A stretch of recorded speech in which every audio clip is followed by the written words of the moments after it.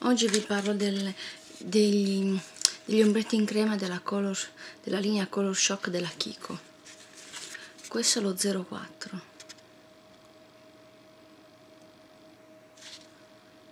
Decisive Stone.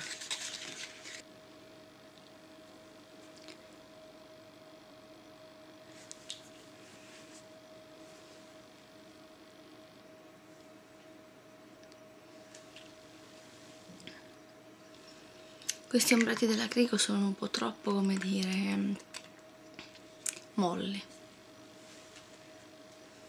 Se prendete un po' in più di colore si vede di più. Passiamo allo 06 Lagoon Blue.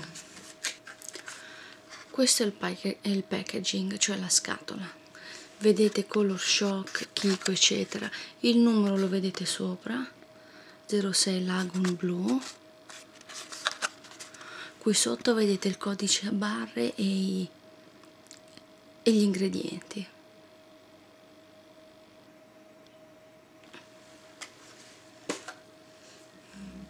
Questo è il pack della scatola. Qua vedete in anteprima il colore.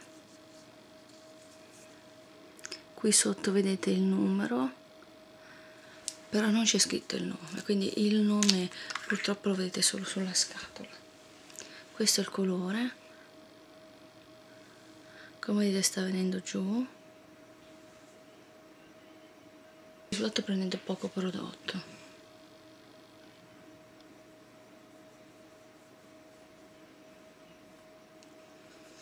Prendendo più prodotto si ha questo risultato più pieno. Come qualità però non mi piacciono proprio fanno veramente schifo e anche il pack della confezione.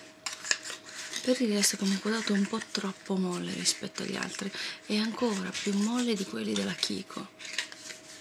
Quindi non vi dico. Cioè scusate mi sono sbagliata. Questo della Kiko è ancora più molle di quelli della Essence perché tanti della Essence sono molle. Tranne qualcuno che è duro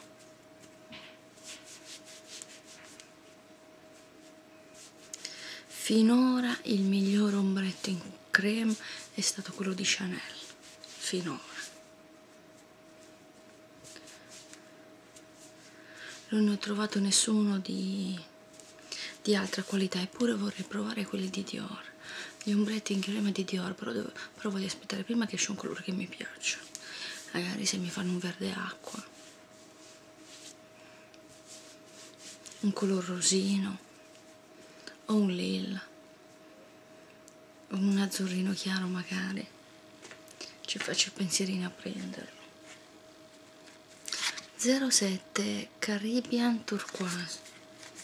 Io ne ho comprati 4 perché non sapevo sinceramente che fossero così molli. Questo è il colore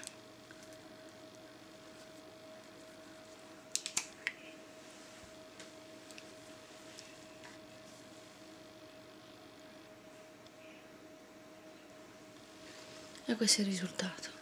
Questo mi piace molto come tonalità di colore. Ultimo questo 08 fresh mojito.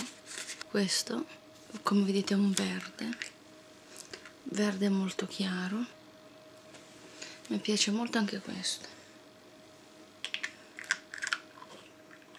Anche se ovviamente è sempre la solita cosa.